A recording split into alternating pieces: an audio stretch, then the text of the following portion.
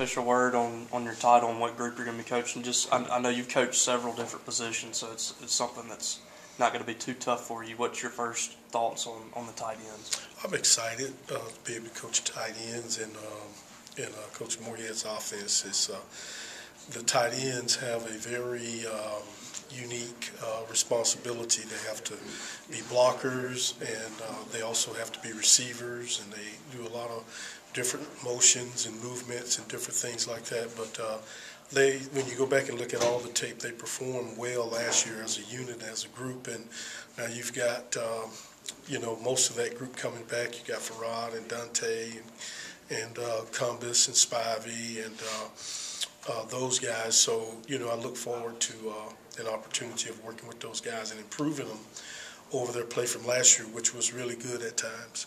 I know you're familiar with Farrod. Just how much are you going to kind of lean on him for leadership with that group? Well, he should be uh, the leader of the group. You know, he's the older guy, the elder statesman. He's played a lot. He's a fifth-year senior, um, and uh, so he's kind of grown up in that position. So I'll, I'll be leaning on him heavily. There's a lot of options there. Just as a coach, how excited are you about that? Having the opportunity to have so many different options and bodies that you can filter in and out, and uh, a lot of size and athleticism out of that group too. Well, well, I think that's what Coach Moorhead wants in that position, or athletes that can do a lot of different things, a variety of things than just, you know, maybe just be a good blocker or just a good pass receiver. But guys that can do a lot of different things is, is something that he uh, definitely wants in that position.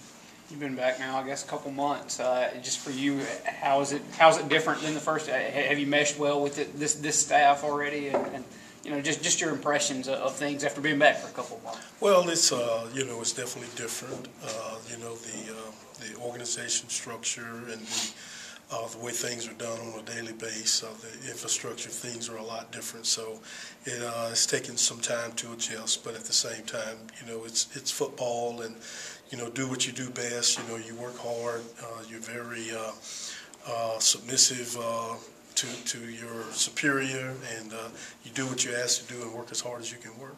With Cumbus over at baseball, what's your expectations of him in the spring? I know you haven't been able to really see him on the field yet.